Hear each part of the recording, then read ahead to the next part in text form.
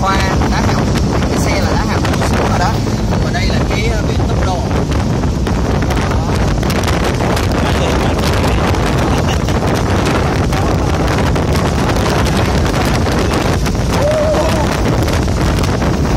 À, cái cảm giác mà khi mà chúng ta đi cái đường này á thì nó ờ, mình nghe cái tiếng gió nó không có lớn tại vì do cái kính ờ, đằng trước nó nó cản khá là nhiều.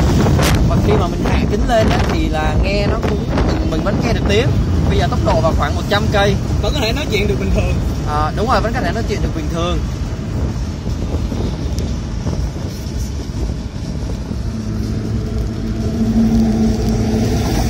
À, tóc mình nó dựng đứng như là siêu nhân gao đó. Tay run luôn. Tay run luôn. Bây giờ tốc độ chỉ còn khoảng 90 cây. Cái cảm giác mà bạn đi xe máy mà 6 70 cây thôi là bạn đã, đã thấy là ờ, khá là cao rồi. Nhưng mà đây ờ, chúng tôi thử nghiệm tới ờ, 100 cây. Đường Long Thành hôm nay thì nó cũng khá là nó cũng khá là đông.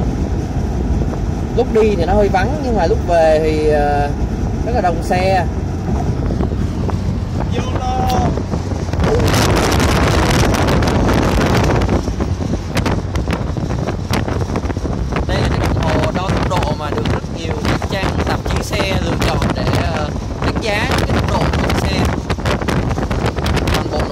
xe. Và đây chúng ta có cái nút mở mùi